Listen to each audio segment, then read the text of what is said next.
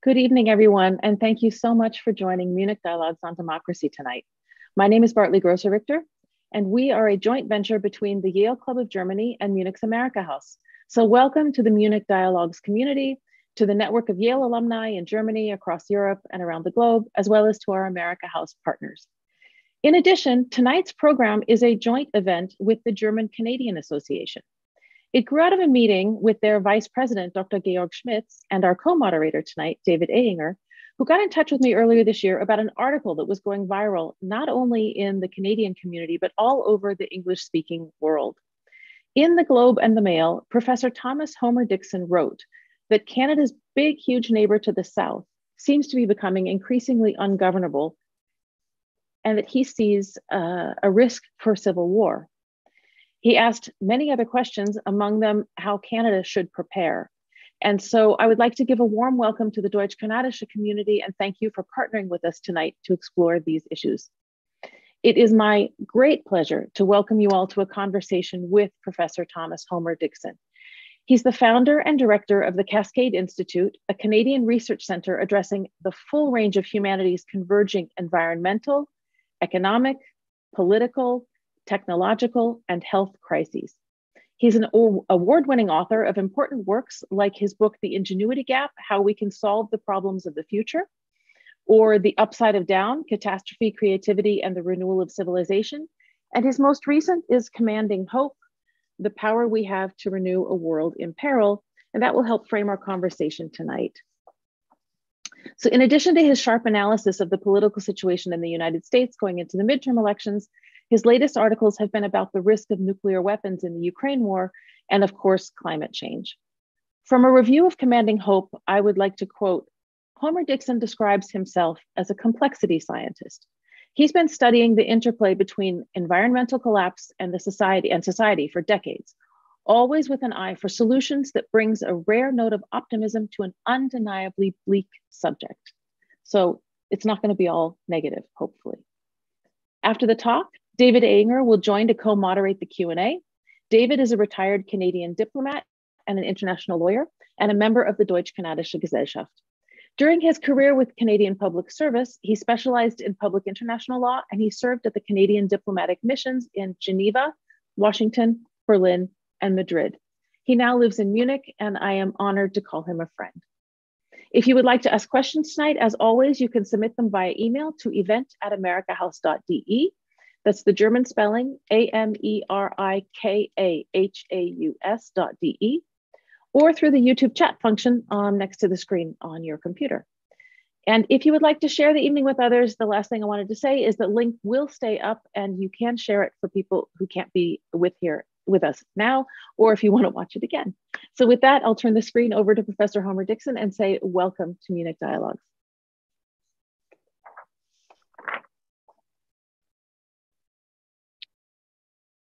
Hello there. Well, it's delightful to talk to you this evening, your time, morning, my time. I just uh, finished breakfast. I'm speaking from the west coast of North America, uh, Vancouver Island, for those of you familiar with the west coast of Canada. Uh, Southern Vancouver Island, uh, I'm at a, a university, small university called Royal Roads University that's on the, the coast of Vancouver Island looking across Juan de Fuca Strait towards uh, Washington State and the Olympic Mountains. It's a truly wonderful natural environment here and uh, a place where people come to reflect on the state of the world. Uh, and within the Cascade Institute, which we founded here at Royal Roads University, we are uh, examining the greatest challenges humanity faces, as well as opportunities for addressing those challenges effectively. I'll talk a little bit more about the Cascade Institute later. But the main topic today is the topic of hope. Um, I, we could talk about the decline of democracy in the United States, and I'll say a few words about that. We could talk about specific challenges such as climate or the crisis of the war in Eastern Europe right at the moment. But I want to talk about, more importantly, I think a larger issue that we're all struggling with, which is how one sustains hope in a, a world circumstance that seems at some sometimes truly bleak and doesn't seem to offer much opportunity for any emotional response except despair. So I'm going to outline the, the basic premises of my argument in my book, Commanding Hope, which Bartley uh, showed you just a moment ago. And I think we can begin by bringing up my slides, which I'll do now.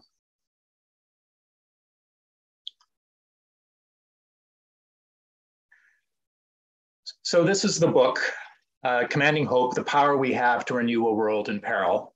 It was published in uh, 2020, uh, right in the midst of the pandemic, uh, which was a challenging time to bring out a book, needless to say. Um, but it reflects my thinking on the state of the world and uh, opportunities for moving in a positive direction as a species thinking that has, de has developed over a period of a number of decades. Now, this is the third of three books I intended to write, kind of a trilogy, I guess you could say, going back to the first that Bartley mentioned, The Ingenuity Gap, which was published in, 20, in, in the year 2000, uh, The Upside of Down in 2006. Both of those books were substantially descriptive, whereas this book is much more prescriptive. It's an attempt to actually point us forward to possibilities for positive outcomes and how we can build our hope around those possibilities. But needless to say, it's a remarkably challenging time, and I'm trying to change my slides here and finding, there we go. Uh, we all are aware of the multitude of crises that seem seem to be seems to be developing around the world. The war, uh, wildfires caused uh, substantially by climate change. This is in British Columbia, but we're seeing these, of course, all over the world, Southern Europe this summer, for example. Uh, extraordinary pollution events, uh, refugee crises the planet over, the largest movements of refugees and migrants ever recorded by the United Nations. Uh, increasing political polarization and radicalization, especially within Western societies uh, deep divisions around equity, uh, racial justice, and otherwise within Western societies, producing sometimes widespread civil instability. And of course, the pandemic, which is still with us now and may return with vigor at some point in the future, but has produced a fundamental shift in the trajectory of the world economy. And I think in, in many respects, more broadly, human civilization we could call this challenge a global polycrisis, and that's the way we're now labeling it within the Cascade Institute. Uh, the Cascade Institute is fundamentally dedicated to trying to understand cascades of changes within the uh, within the integrated global systems, economic, social, political, technological, and otherwise. Uh, how uh, one crisis can interact with other crises to produce knock-on effects that spread around the planet. We're also interested in identifying leverage points, possibilities for leveraging those nonlinear phenomena, those that capacity for the global system to flip from one state to another in a positive direction to produce virtuous cascades, not just pernicious or negative, harmful cascades of change. One of the things that we've noted in the Cascade Institute is that these crises that I just mentioned, and there are more, of course, that I didn't mention, that are developing at the global level seem to be all reaching a kind of critical point simultaneously. And we argue that there are some kinds of synchronization effects, that there are largely unseen connections, causal connections between these crises that are causing them to reinforce each other. So everything is going critical simultaneously. And it's this idea of synchronization across crises, geopolitical in terms of the war, climate, economic, de democratic decline, and the like, that is at the core of our research program now, at least when it comes to pernicious cascades at the Cascade Institute. And this environment of crisis, the global polycrisis, whether it's recognized as an integrated set of crises or not, people uh, feel the effects in their everyday lives in terms of economic insecurity. Uh, they may see or experience large flows of uh, migration uh, and, and see the social consequences of those. They see the smoke that sweeps across the sky from wildfires, uh, but just a general sense of that, that the world that they have known is no longer stable and secure, uh, and uh, the future is profoundly uncertain. And this is, of course, conducive to the emotion fear. And I would say that in many respects, fear is the dominant emotion of our age. And that provides opportunities for certain individuals to build their political power around the anger and fear that are becoming more widespread, use those emotions to divide our populations, to try to identify out groups, uh, enemy groups who are responsible, uh, they say, for the uh, the, the crises and insecurity that people are experiencing and, uh, and build their political power uh, on those divisions and on the anger and fear that those divisions engender. So when we look to the future, and I should say that I wrote this book, Commanding Hope, for my children principally. Uh, Sarah and I have uh, a boy, Ben, who's now 17, and a, a, girl, now a young woman, Kate, who is uh, 14. Uh, and, uh, and I wrote the book during the, during the period that they were growing up. It took me eight years to write. And the book actually starts with a vignette uh, about my daughter finding an academic article and asking her mother about it uh, when she was four years old. And fundamentally, I was asking the question what is the story we're going to tell our children about the future they will inherit? And what are the possibilities for hope within that future, uh, given the extraordinary challenges that our species is facing? And is this the story that our children will be told and they'll come to come to believe that we're all members of the failed species and during this century we're destined to bear witness to the devastation of our planetary home and the violent unraveling of much of what we've accomplished as a species through the millennia. And this is an unacceptable narrative. It's an unacceptable story. I think we'd all agree this is the last thing that we want our children to come to believe. I have to say, though, that increasingly young people are, are, are adopting a kind of frame of this kind or a paradigm of this kind in their minds. Yeah, when you teach young people now, when you get into a conversation about their sense for their prospects for the future, they increasingly, to use the vernacular, say, "Well, we're fucked. There's nothing we can do." We, I, I you know, they'll say things like, "Like I don't believe that." that uh, I'm going to live out my full natural life because all of these crises will will produce some kind of catastrophe that will kill me at some point in the future. Whether these attitudes are reasonable or not is an open question. But that is the kind of deep, profound pessimism that's leading to a, a, a rapid increase in anxiety and psychological problems like depression among our young people. So this is, we have to find an alternative, another pathway, psychological and otherwise. And I argue in the book that hope is the key. If we lose hope, we are lost. Among other things, if we lose hope, then we lose our agency. Any possibility of motivation to work to try to improve the situation we, we're in. Now, there's a substantial debate, and I'll allude to it in just a moment, about the value of hope, whether it's a productive emotion or not.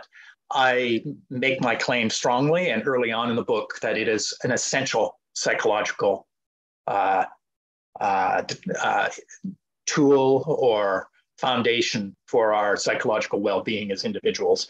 And in fact, when you talk to young people, for instance, like when we talked to Ben and Kate about the challenges that they face, we don't spend a lot of time talking about the world crisis, the poly crisis within our family, but they hear about things and they raise issues and conversations around the dinner table. And when they say, when they start to slide in that direction of, of despair, the first thing you do as a parent is you say, but there are things you can do.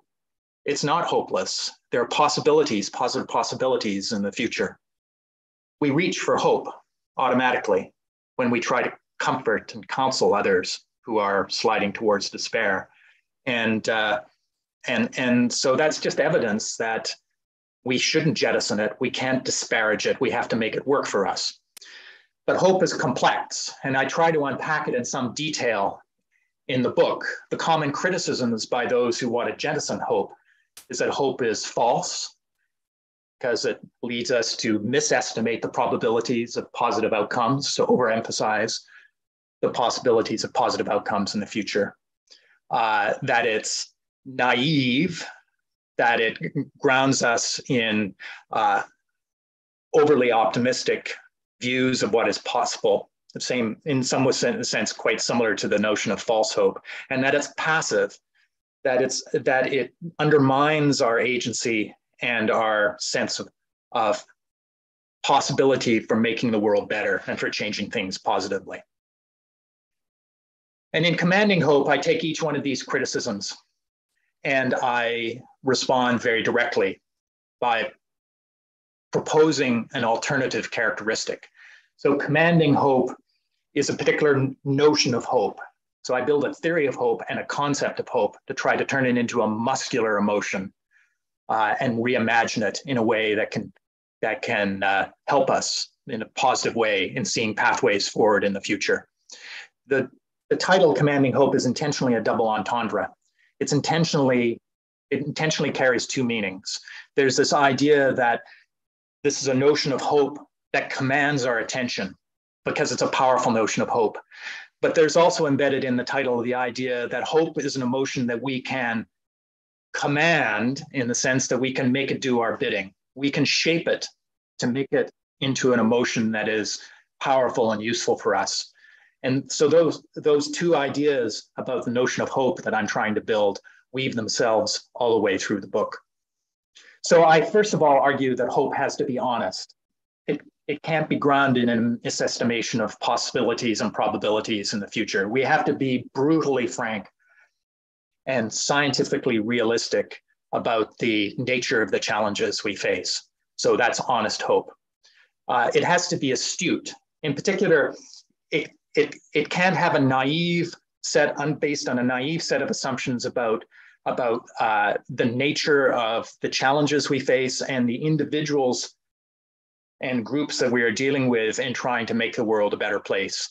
And I spend a, quite a bit of time at the end of the book building this concept of astute hope, which is grounded in a deep understanding of the worldviews and perspectives of the other groups that we're working with or struggling against in trying to make the world a better place. So this is astute. So you might call it strategically astute. You have to have a sense for the landscape you're operating in, socially and politically and otherwise, and how to maneuver and operate within that landscape to try to get to the better world that you want to achieve.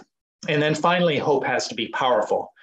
It needs to engage our agency. It needs to give us motivation to actually change things in a positive way.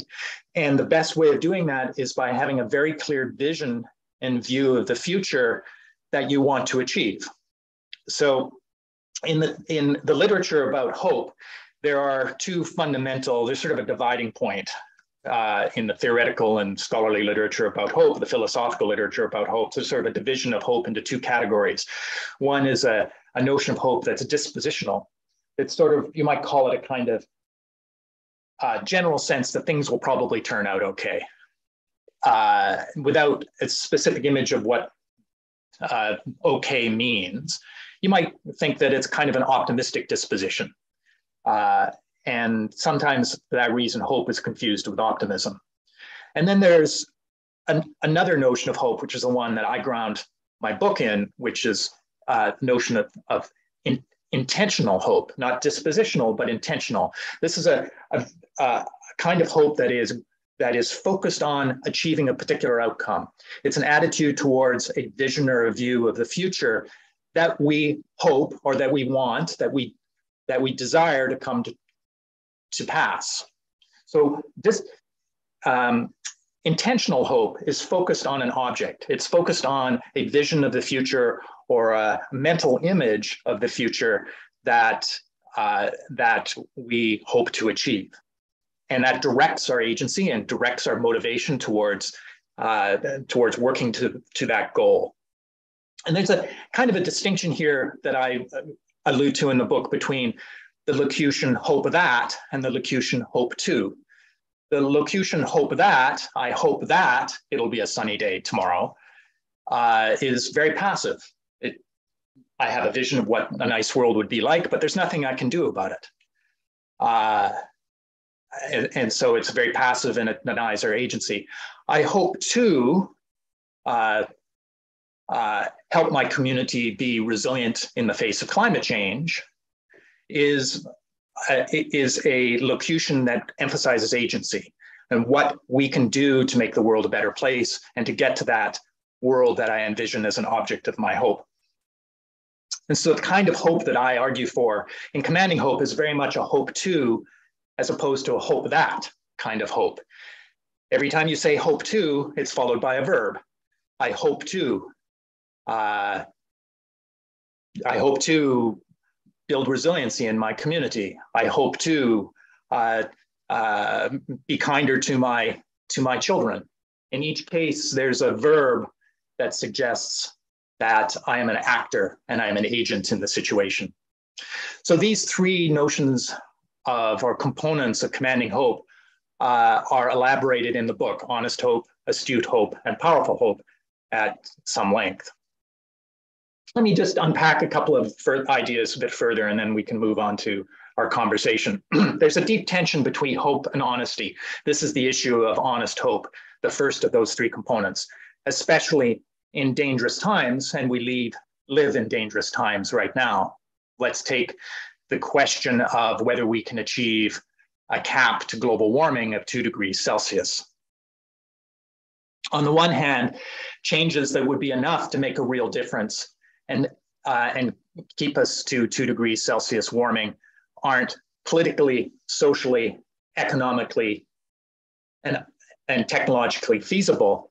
On the other hand, those changes that we are implementing to cap warming at two degrees Celsius, they may be feasible, but they won't be enough to actually uh, limit the warming to that level.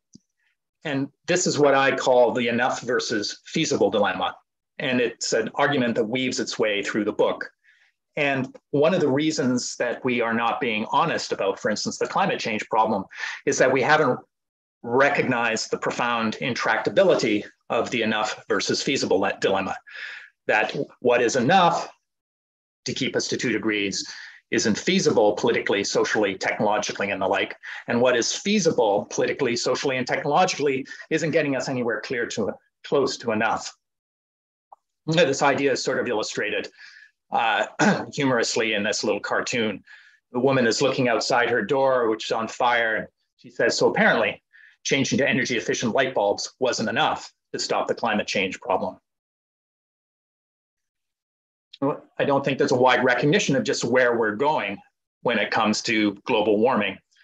Uh, people realize the problem is serious, but I don't think there's a wide recognition of just how extraordinarily serious it is and how far off the mark we are from getting this thing under control. This is a representation of global tropospheric temperatures going back to the end of the last ice age, 11,300 years before the present.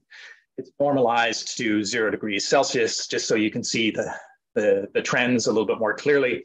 The zero degrees represents uh, actually about 13.6 degrees Celsius average temperature in the troposphere around the world. Uh, and you can see that over that period of 11,300 years, uh, temperatures have varied about 0.7 degrees Celsius. And in the last 2,000 years on the right-hand side, during, during the period in which human civilization was built, essentially, where we laid down our major cities, our agricultural regions, our irrigation systems, our port cities, our transportation networks, and the like. Uh, the temperature varied about 0.5 degrees Celsius. It was in a period of remarkable climate stability on the planet. And we're now well outside that envelope, and we are heading much further out that, outside that envelope without radical changes in, uh, in uh, carbon emissions in the atmosphere.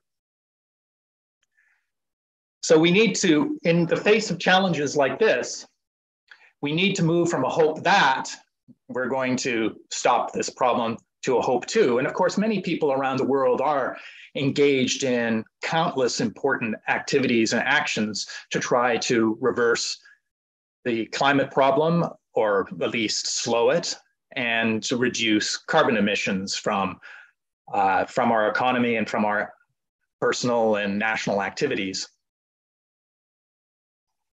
And I, I don't spend time in the book in getting into getting into all the details of those kinds of responses because other people have done that uh, in great detail, and I think I think it's uh, I think they're all very important. I do argue that we must get much more radical in our restructuring our, of our national and global economy, especially when it comes to the issue of economic growth and how we're going to uh, sustain people's well-being on this planet when we're actually ramping down material and energy consumption as we have to if we're going to deal with the climate change problem.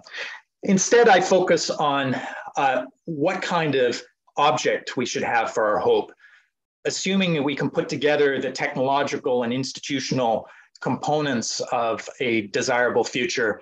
How should we structure that in terms of principles and the beliefs and the moral commitments we have uh, as we try to depict this, this vision of the future that's going to be an object of our hope. And I, I suggest that at the very least, we should commit ourselves to three uh, fundamental injunctions. We don't wreck our planetary home. We don't commit mass suicide by fighting among ourselves, and that we protect our children. And I suggest that you can probably achieve very substantial agreement among humanity in, in its entirety around these three principles, these three injunctions. But they aren't uh, emotionally powerful in a way that could really galvanize people to work together to build a more humane global civilization. They are, uh, the first two are, are negative injunctions, uh, telling us that we shouldn't do things that we're in the process of doing. And the third uh, you know, might some people might argue that the best way we can protect our children is protect protecting our children from other people's children or from other societies. So it's not entirely clear that the injunction protect our children is going to lead to unity within humanity. It might actually encourage division. So whereas these are uh, a useful starting point for thinking about what our vision of the future might be, they are an absolute minimum baseline and we need more in terms of articulating uh, what our object of hope of our hope should be. And in the last part of the book, I emphasize what I call are the most important principles that should guide our vision of the future. And these are security, opportunity, justice, and identity. And I speak about each of these four uh, principles in considerable detail. And I argue that uh, that there are uh, fundamental temperamental differences within humanity, which in a very crude sense, you can distinguish between three fundamental human temperaments, people who are prudential, who are concerned about uh, insecurity and want safety, people who are exuberant in their temperament and uh, are uh, excited about the possibility of exercising their agency and then people who are fundamentally empathetic in their temperament, who are concerned about the well being of other human beings and feel for their suffering and are profoundly interested in, in improving other people's well being.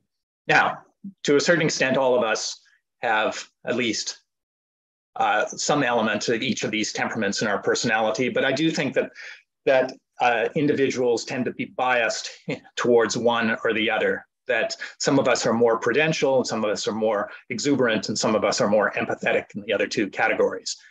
This very crude uh, template of temperaments suggests that if we really want to build an object for our hope, a vision of, the, of our future global society that will appeal to a broad swath of human beings, it needs to appeal to each one of the security, opportunity, and justice principles. It and what we find in the world today is that the ideologies that are proposed and propagated by individuals who are leaders tend to emphasize one or two of these, not all three simultaneously. Vladimir Putin and Donald Trump, for instance, would uh, strongly emphasize the security principle. Uh, Others towards the left of the political spectrum in Western societies would emphasize the, the justice principle, for instance. And there tends to be a, a, a lack of convergence of vision around a set of principles that will bring everybody together in a common project. And then finally, this, this principle of identity is, uh, is grounded in an observation that, uh, that I've had uh, going back over many years studying societies around the world. If I were asked to identify one characteristic of societies that uh, uh, is perhaps the most important in determining whether they are successful or not, whether they can solve their problems. It's, I would say that it, it's whether the individuals in the society, from the highest levels of the, of the elites to all the way down to the lowest socioeconomic levels in the society, whether they share a common commitment to the common weal, a sense of responsibility to the well being of the whole population, the whole society. Whether there is, uh, to use that wonderful French expression, a, a sense of a projet de société, a, a common project for the society that brings everybody together around some superordinate goals and encourages a sense of identity that's encompassing uh, uh, as, as the population, as the society as a whole moves forward. Uh, and I I, I argue strongly within the book that we need to develop this kind of sense of common fate, a sense of projet de société, a commitment to, uh, uh, to superordinate goals at the global level, that at least a portion of human society needs to recognize the, the fact that we are in this global polycrisis together. And we're not going to solve these problems unless we collaborate and cooperate as a species and we share a common sense of identity, a species wide sense of we-ness, if you want to call it that. so just in the last part of my talk, last couple of minutes, I wanted to remark on why I think that we are in an, an unprecedented situation today on the planet in terms of human civilization that could produce outcomes that are very different from anything we've seen before in the evolution of human society.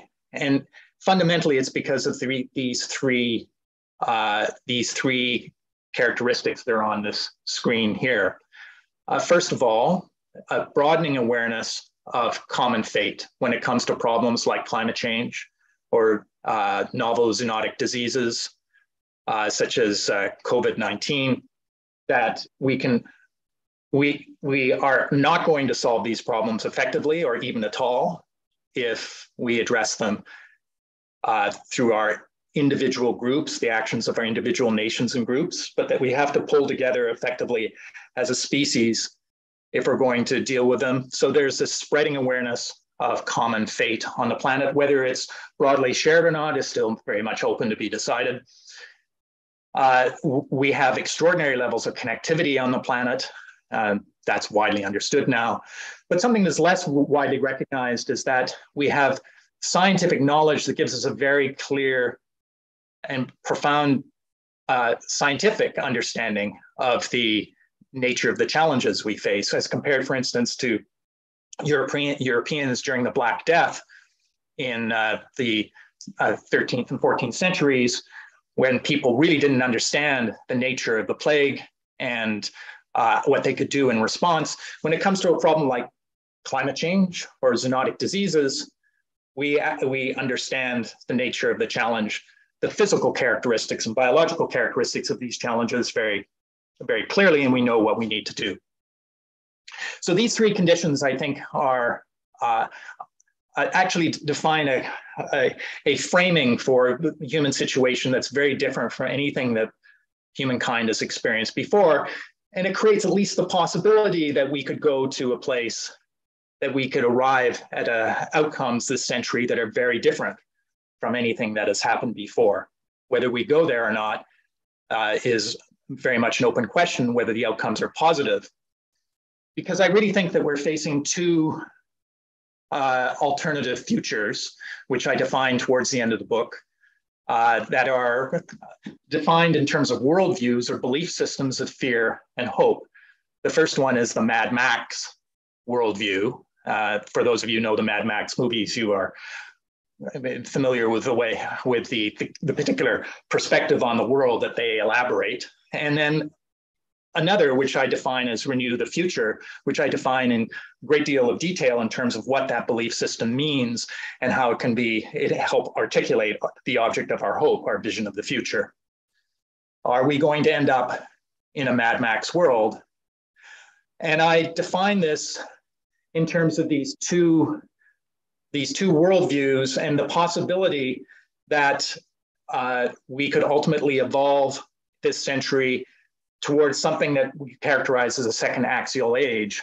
So some of you are familiar, I'm sure, with the work of the existential philosopher Karl Jaspers.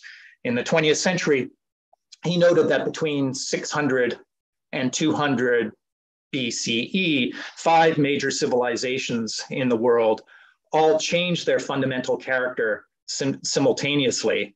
Uh, even without much communication between them, they they uh, they all flipped simultaneously during that 400 year period to uh, cosmologies that laid the foundation for modernity. Very different understanding of the natural world, of the relationship between between uh, uh, individuals and societies and the cosmos, and very different fundamental moral premises too that laid the foundations for modernity. And I think the question then is whether we are on the cusp of something similar this century as we move forward into these enormous crises and whether they could galvanize a kind of shift in the fundamental character of human civilization uh, that would be analogous to the first axial age. Excuse me. I think I'm going to probably end with this slide because I realize we're getting on and we want to have some time for conversation. But uh, I don't use this, this image in, uh, in, the, uh, in the book, but it characterizes in complex systems terms the kind of idea that I'm expressing in the last chapter, this, this tension between two possible futures, the Mad Max future and the Renew the Future worldview uh, image of the, of the future. Uh, this is what complexity scientists would call a uh, energy landscape. The idea is that a system like the world, as you see on the left-hand side, has a, a characteristic of migrating to a low point in the landscape where, where it's stable. We're currently in a situation where the polycrisis is bouncing us out of our stability zone on the left-hand side at the front of this three-dimensional space.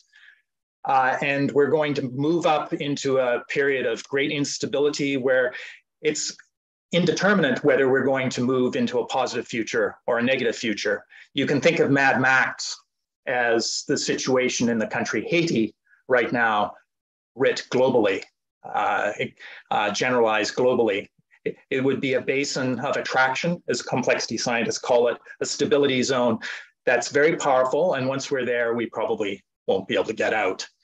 Uh, but there is also this possibility of an alternative basin of attraction, alternative future, which, which I label renew the future. To get there, we have to kind of skirt by Mad Max. Uh, and there's going to be a constant tension or tugging towards Mad Max, which is actually quite close in terms of uh, its, its time in the future. We could be there uh, within 10 years, potentially, if Vladimir Putin decides to use uh, strategic nuclear weapons, we could be there next year. Um, so, renew the future is farther away, but to get there, uh, we have to skirt Mad Max. And once we're there, the basin is less deep. We actually have to work harder to stay there to keep that situation stable. But it's a situation of larger, of greater social cohesion, of uh, uh, it's a future that is defined by those principles of opportunity, security, justice, and identity that I identify at the end of the book. I think I'm going to end there and see if we can have some few minutes of discussion.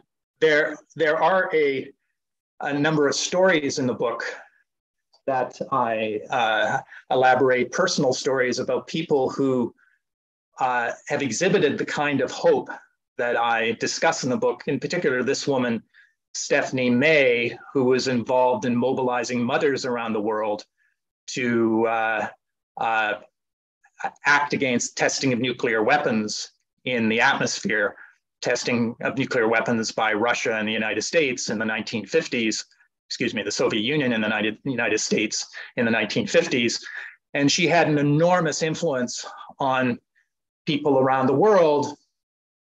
Uh, uh, here she is speaking in London's Trafalgar Square. She was American, but she went to London to speak to here 100,000 people in, in London's Trafalgar Square in the early 1960s.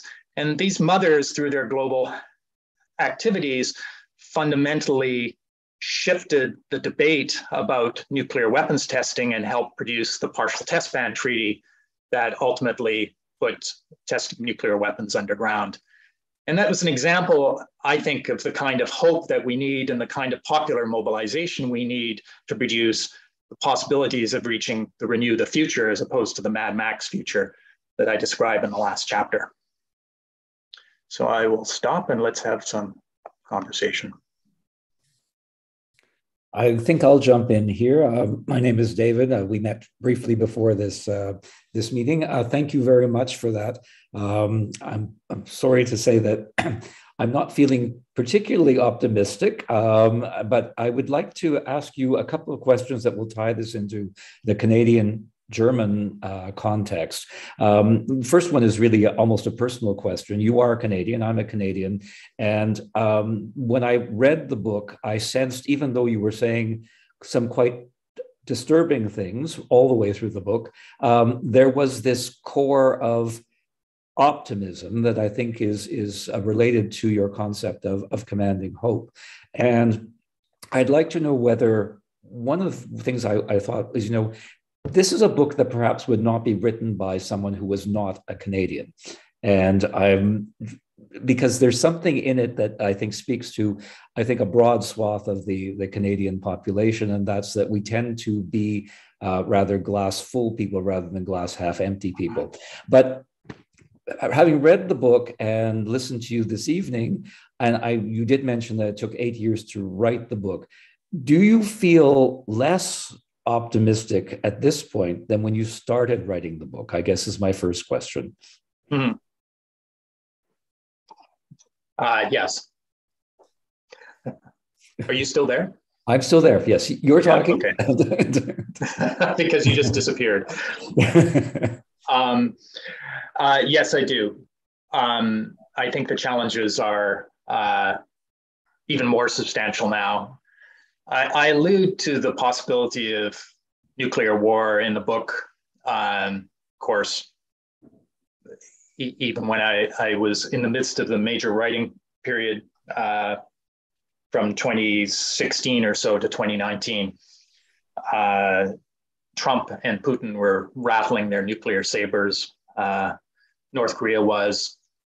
Um, there was a very palpable sense that the nuclear risk was escalating but uh, now I think we're in a qualitatively different situation. We really have flipped uh, as a result of this war and as a result of the escalatory rhetoric of Vladimir Putin to a, a, a very different situation. Not one that ultimately we should have probably not expected. I mean, we have a lot of these weapons hanging around. And as tensions increase because of these other problems around the planet, one would expect that uh, in a scarcity world, a world characterized by scarcity and a scarcity mindset, that leaders will start. Uh, one would have expected that leaders would start uh, rattling those nuclear sabers even more, or, or uh, uh threatening to use them, and maybe even ultimately using them. I mean, I've been concerned for a long period of time about the possibility that a climate-induced shock could produce a nuclear war between Pakistan and India in the in the uh, subcontinent, for example. Um, but it's different when it's actually starts to be realized in real time. And I have to say, it has it has a profound effect on all of us. I think it's like we're all turning around and saying, "Oh, now what now? this this additional thing that's layered on top of everything else. And Europe's about to enter this extraordinary energy crisis and energy challenge this winter. Uh, it's it looks like the, the European economy is going to slide into recession. Uh, there, it, it, there's a coordinated um, move by central banks to uh, raise interest rates around the world, which is going to have a global recessionary effect. There's some indication that we could even have emerging from China and the property markets in China, uh, major financial crises. So it's like everything is converging simultaneously. So yeah, that, and yet, it, it, given the broader perspective that I developed in the book, especially in the middle part of the book, as you've read it, there's sort of this account of the state of the world in the middle part of the book. Um, uh, in some ways, this stuff isn't surprising. Uh, uh, in, in, in many ways, what I say in the middle part of the book is this is what we can expect, and here it is. In fact, um, uh, if you go back and look at the ingenuity gap and the upside of down in my earlier work on environment and conflict back in the 1990s, I've been saying pretty consistently that in the 20s, 20s to 2030s, that the world was going to hit a wall and that a whole bunch of crises were going to converge simultaneously. And here we are. But it's different when it actually happens and when you've got kids to worry about. So, but it doesn't change my fundamental argument. And, I, and there's one point that I didn't mention in my presentation that I think is really important is that this world is so complex and so nonlinear now that we actually don't know where it's going to go. And there are possibilities for positive outcomes, such as this kind of flip to alternative worldviews, a renew the future worldview, a kind of axial age transition that would only happen under extreme stress anyway. Mm-hmm. That and and given that we are in this kind of sui generis situation of high scientific knowledge, high connectivity, and emerging sense of shared fate, we do know that human beings produce their most remarkable accomplishments when their backs are against the wall. And we also know that there's no such thing consistently as human nature, that we are extraordinarily plastic as a species. And uh, so I, I maintain that possibility there. In some sense, we have to go through this crisis if we're going to learn to live together properly on this, on this planet. So this okay. is kind of a necessary condition for, for progress. Now I see I just, you, you flipping again to the the optimistic side, and I think um, what I'd like to now take you to is a slightly more optimistic uh, viewpoint. You basically um, spend some time discussing Stephanie May and her campaign, and the fact that this, you know, impossible job was basically done by a lady who had an idea and just mobilized other people. Um, and I, I, think I'd like to point to, I mean, uh, in Germany, I was studying in, in England in 1988. And one of the most famous history professors in England at the University of Cambridge um, told us flatly in our class that in our lifetime, the Berlin Wall would never fall. Yes, now, well, there you go. 1988. Um, 11 years later. No, it was, was basically it? one year later. so, 88. Yeah, I thought it was 78. 88. Yes, one year later. Exactly. So yeah. uh, the thing is, you know, and I'm I'm constantly um, um, sort of intrigued by the fact of, and some it links in something you just said, that sometimes things happen that people aren't expecting to happen. And sometimes those things are not as bad. They're not all bad, the things that happen that we aren't expecting to happen. Um, and um, and another so david I, I, want to give you a couple of examples that, yeah. that really recent examples okay so so we tend to overdetermine pessimism in some ways in this world between between March 2020 and uh, the first week of March 2020 and the first week of April 2020, uh, about 50% of the world's population locked down, right? This is probably the most substantial change in human behavior, coordinated human behavior of a proportion of the human population in the history of the species, right? There, there's an example of, of the product of connectivity. And it probably saved hundreds of thousands of lives maybe millions of lives, right? Between about mid March 2020 and mid April 2020, the concept of social distancing or physical distancing went global and helped change people's behavior around the planet. Uh, if you had asked me or you or anybody in January 2020 what social or physical distancing was, we wouldn't have come up with a good answer. But by April, we knew exactly what it was. And not only that, we were implementing the, the, the procedure. Within two days of the Chinese downloading the genetic code for uh, the COVID virus, uh, Pfizer and Moderna had both developed the morphology, molecular morphology for their vaccine. And we had that vaccine out to billions of people, not um, adequately distributed across the, the wealth and population and socioeconomic divides in the, in the world, of course. But nonetheless, we had that vaccine as a species out to billions of people within 18 months. That's extraordinary, right? We have to remember that, that there are these possibilities. At the beginning of the Ukraine war, everybody assumed the Western alliance would shatter, would fragment. And, and yet it, it's almost as if that that war has been a galvanic moment for the West in recognizing what's at stake and what what may be lost if Putin is actually succeeds. People weren't expecting that kind of thing. So there are these, these possibilities in what the complexity scientists call the adjacent possible, just beyond the boundary of what we can see, many of which may be opportunities for positive change part of what the Cascade Institute is in the business of doing is trying to identify those and make them real, pull them across that boundary into, into reality. Thank you. Um, I guess, um, Bartley, I w- don't know whether you want to jump in at this point. I have one more question relating to your article, uh, States of, um, of Emergency um, which got this whole thing started when Georg and I basically read it and took it to Bartley and said, you know, we really should get this guy. Um, the thing is that you did the the article is quite quite interesting, quite disturbing. I think an extremely astute uh, estimation of what was going on at the time. However, um, when you come to actually the prescription at the end, it sounds again quite Canadian because it says you know set up a standing committee. Um, uh, having been a, a, diplomat in the Canadian Foreign Service and having served in Washington, you know, uh, basically what you were talking about as far as a political process is something that's always been an administrative process, and that is how to deal with the relationship with the United States. Um, and you know, I would basically say that some of the things that we do is looking at not putting all our eggs in one basket, no matter how big and important that basket is. But maybe just um, briefly, because I know there'll be other people with questions, um, if you could say what you would see as the three concrete measures that Canada could, could possibly take to, I guess, uh, buffer ourselves. Yeah, exactly. Buffer ourselves from what might happen south of the border. Mm. Okay.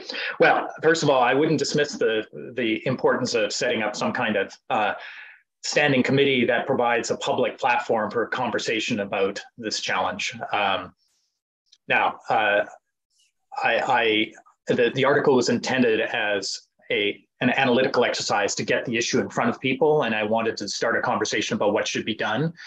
That conversation has not uh, proceeded very far. I was contacted by a few people. Uh, within the parliamentary process, for example, uh, about about the kind of public conversation. But I think we've sort of slid back into uh, a world of denial about the dangers in the United States. We'll see what happens in these upcoming midterms. Um, the Democrats seem to be in a somewhat stronger position than we thought they would be in January. Um, but there are long-term trends in the United States. There's a very good assessment in the New York Times today of the underlying economic uh, crises affecting uh, especially rural white communities in the United States and how that's driving Trumpism and the kind of divisiveness in the society. So those trends are not going away. So um, I, I think they're, uh, I, I think, I don't know if I have three, but we need to, we certainly need to have a public conversation. There are cultural, economic, political implications, political slash security implications to the development of a right wing regime in the United States for Canada. We are going to be in an extraordinarily difficult situation, especially if the certain parts of the country elect ultimately to uh, secede. For instance, if there's a secessionist party in Alberta that uh, is trying to, uh, is encouraged by uh, a Trumpist type movement in the United States to join the United States. I mean, this could be a nightmare scenario for the country. Um, at the very least, I think we need to start planning out or gaming uh, maybe some of this publicly and some of it within our security establishment, what the implications might be and how the country could respond. Um, I think it's very important that this conversation take place across partisan nature in the country. So as much as possible that we bring in those communities who might uh, who might be inclined to migrate in that direction if they not if they're not if they don't feel they're part of that broader projet de society société of, of Canada, that broader sense of we-ness. Um, the other thing is, and this is a bit more controversial, and John Ibbitson alluded to it in the column that followed mine, uh, is you know there are 300,000 Canadians uh, in the United States, many of whom with a great deal of influence, who may have some soft power capacity um, now, that might actually produce a reaction that would be negative for Canada, but there may be ways that Canada can, can gently nudge or influence the situation in a positive direction uh, as, as the United States goes through this, uh, this, this period of turmoil. And it's not going to end. I mean, even if the Democrats do reasonably well in the November elections and in the coming presidential election, there is a substantial body of 30 or more percent of the American population that is profoundly aggrieved and doesn't believe in the in the functioning of democracy anymore in the United States. So uh, we have to confront this. So that's two.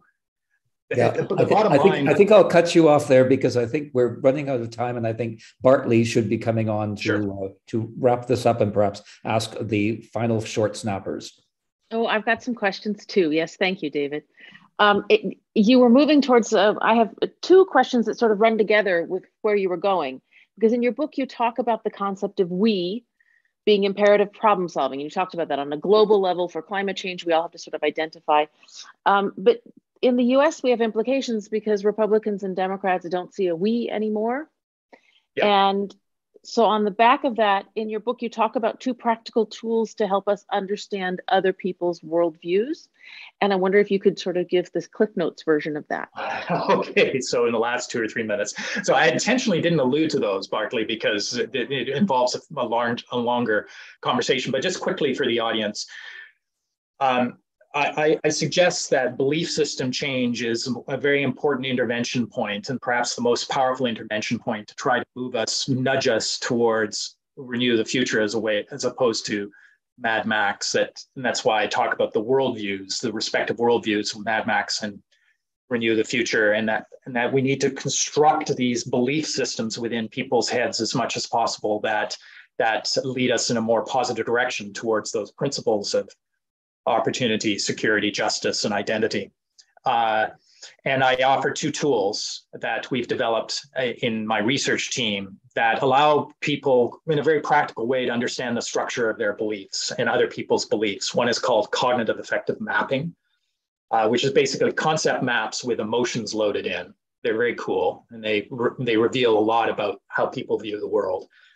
Uh, and the second is called state space modeling or state space approach, which basically asks a series of questions like scale questions, Likert questions about how you view the world, the basic characteristics of the world.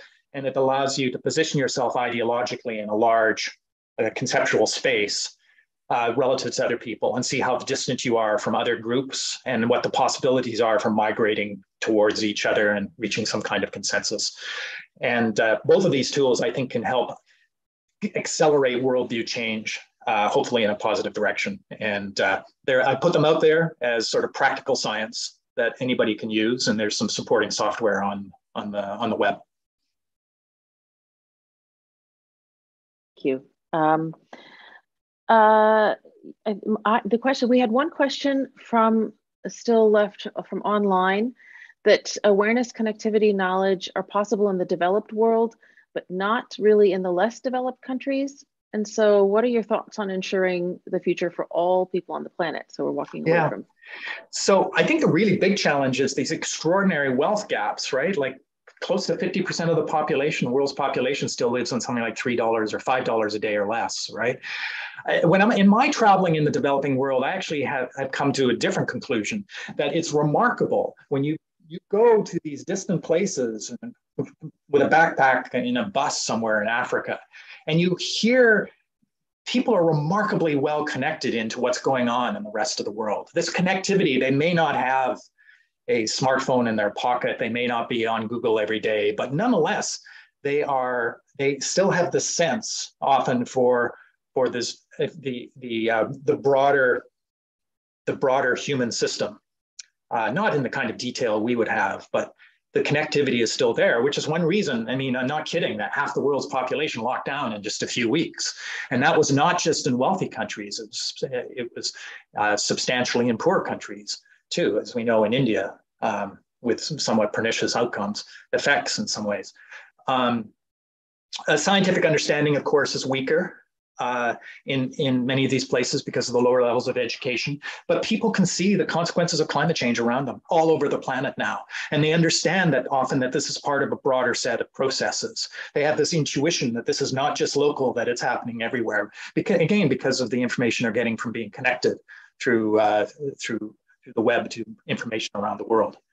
Um, whether the sense of shared fate will emerge, I mean, and maybe this is an interesting question on which to end our conversation. The the, the, the, human the, the characteristic human response to situations of scarcity has been to divide up to to seal yourself within your in group your your your your identity group to uh, to uh, identify uh, out groups that are responsible for the challenges you're facing to dehumanize them and end up fighting to so the standard response to scarcity in the past in this kind of situation has been division and conflict uh, among societies. And that is by far the highest probability of where we're going to go in the future at the global level. But i hold out this possibility for the plasticity of human human nature that we we are in a, a sui generis situation this century that could actually force us to adapt in ways that we haven't adapted in the past.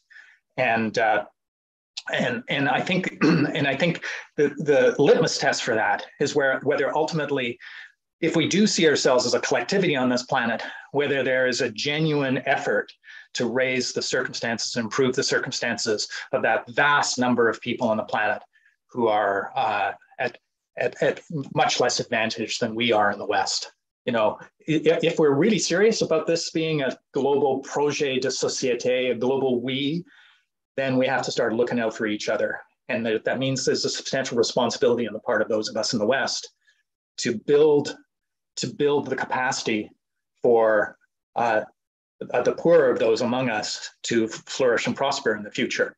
And right at the moment, that's very clearly under threat uh, in in, a, in this mindset of scarcity. So it's an open question whether whether uh, we're going to end up in that renew the future basin or not. Okay. Um, yeah, that's a good place to stop because it's not completely pessimistic. We're going to hope that that's positive. Um, hang on, I have to make sure. There we go. Um, so before we go, I want to invite everyone watching today to join our community on our website, uh, dialoguesondemocracy.com, to get email updates about our future events. And on our website, you'll see upcoming and past events. So this video will stay up. And we have an in the news page where we sort of go with what we're reading this week and we post articles that are interesting, uh, hopefully, to the community uh, from across the spectrum in the international press. And we call attention to new books. So this book is uh, right now up front and center. And there's also a link to support our work. Our next event is in two weeks on October 19th. Uh, we have Ruth Ben-Ghiat coming to Munich. So it will be an evening all about strongmen and authoritarian threats, uh, but it will also be online. Uh, so I look forward to seeing many of you out there uh, in person then. And I'd like to close tonight with a, a quote from the Atlantic Daily newsletter yesterday. Those of you who follow our website know that I'm a big fan of their journalism. And Tom Nichols addressed our current moment about what we can do in our everyday lives in the face of all of these challenges that we discussed tonight. And so I quote, he says, Speak up. Do not stay silent when our fellow citizens equivocate and rationalize. Defend what is right, whether to a friend or a family member. Refuse to laugh along with the flip cynicism that makes a joke of everything. Stay informed so that the stink of a death threat from a former president or the rattle of a nuclear saber from a Russian autocrat does not simply rush past you as if you've just driven by a sewage plant. None of this is easy to do, but we are entering a time of important choices, both at home, at the ballot box, so that's the midterms in America, and abroad on foreign battlefields. And the center, the confident and resolute defense of peace, freedom, and the rule of law must hold. So right now, I'd like to thank the amazing behind the scenes team at America House for making this possible. Do you guys want to unmask and wave? There we go. Thank you. They keep uh, they keep all the tech stuff running. And uh, I'd like to thank again David Ehinger and uh, Professor Homer Dixon. If people want to follow your work, Professor, could you tell us where to find you?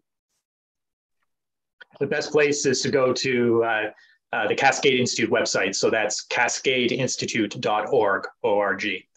And uh, there's an enormous amount of information there uh, on a number of optimistic and positive projects, including new energy technologies. Super. Thank you very much for tonight. And thank you all for coming. Stay safe, everybody, and we'll see you in two weeks.